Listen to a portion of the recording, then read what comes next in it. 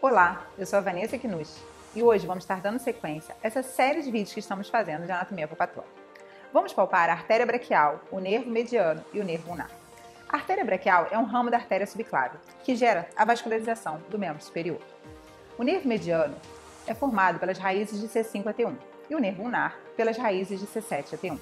Por que é importante palpar a artéria e palpar os nervos?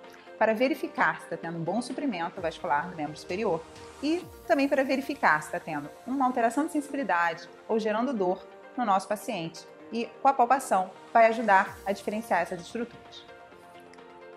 Vamos realizar uma abdução no braço do nosso paciente. Vamos achar o bíceps, achar o tríceps e no sulco entre o ventro muscular do bíceps e do tríceps está a artéria braquial.